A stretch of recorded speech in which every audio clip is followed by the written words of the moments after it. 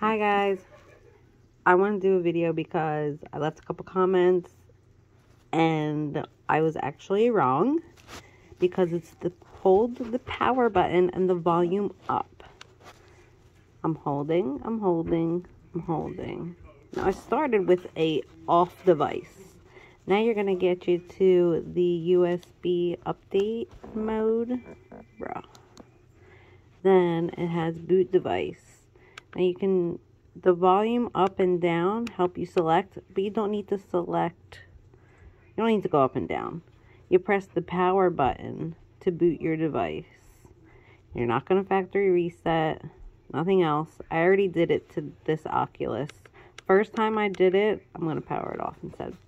First time I did it, it gave me 2036. But then I did it again and it gave me 2022. I didn't lose any data, nothing. So all you have to do is hold the power and the volume up button. And hopefully that saves you. Have a good day. Bye.